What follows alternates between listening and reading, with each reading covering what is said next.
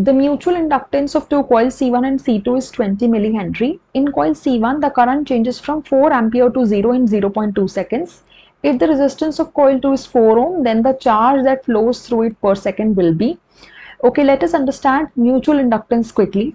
This is your primary coil जिसमें हम current का change करेंगे ये मैंने battery लगा now uh, keeping a tapping key here this is the battery and tapping key here this is the secondary coil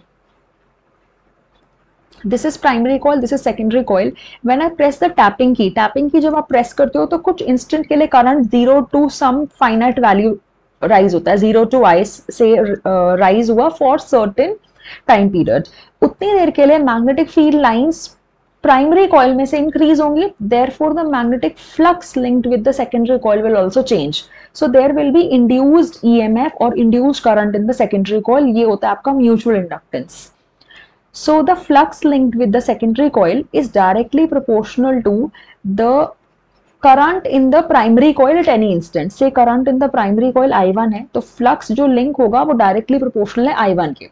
Now to remove sign of proportionality I introduce a constant M इस m को हम बोलते हैं mutual inductance coefficient of mutual inductance अच्छा एक formula हमने भी पढ़ा is minus D phi by D T so minus आप वैल्यू पुट कर दो फ्लक्स का तो आपका एक फॉर्मूला आ गया M D I by D T minus M D I by D T we will be using this formula in the question okay so this one uh, let the primary coil be C1 and secondary coil हम C2 ले लेते हैं। In C1 the current changes from 4 ampere to 0 in 0.2 seconds. Resistance of coil C2 is 4 ohm.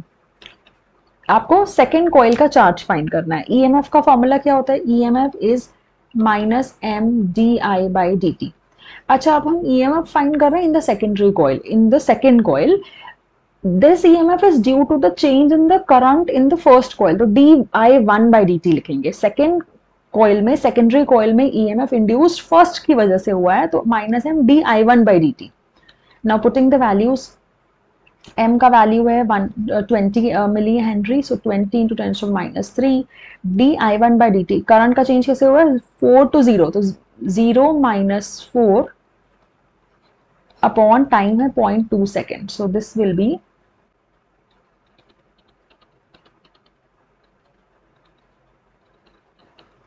Point four volt now what will be the current in the second coil i2 will be E2 upon R Ohm's law.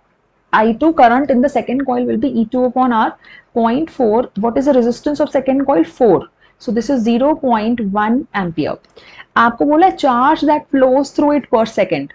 I is Q upon T. Time one second डाल दो। आपका current है 0.1 तो charge भी 0.1 आ जाएगा zero point 0.1 coulomb I write it here I two is Q upon time ना? So Q is equal to I two into T I two is zero point one time है 1 second, so 0.1 coulomb